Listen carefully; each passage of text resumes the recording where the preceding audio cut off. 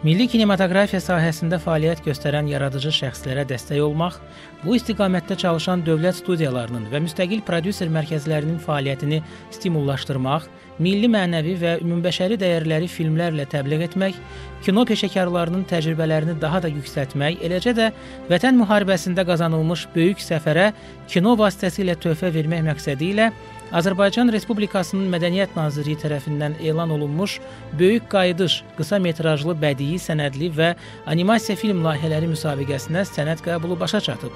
Müsabiqənin ilkin şərtlərinə cavab verən 49 layihə ikinci bədii seçim mərhələsində iştirak hüququ əldə edib. Bunu reala açıqlamasında Azərbaycan Respublikası Mədəniyyət Nazirliyi Kinematografiya şöbəsinin müdiri Rüfət Həsənov deyib. Gözləntilər e, özlərini doğrultdu. Niyə görə? Çünki 49 layihə ə, ilkin mərhələni keçdi.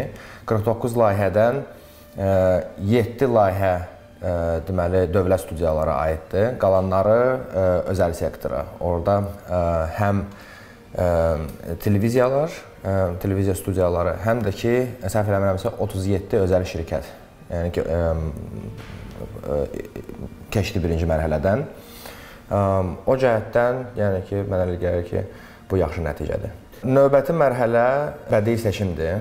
Münsiflər heyəti bu 49 layihədən deməli 3-cü mərhələyə pitchinqə, 3-cü və son mərhələyə deməli layihələr seçəcək.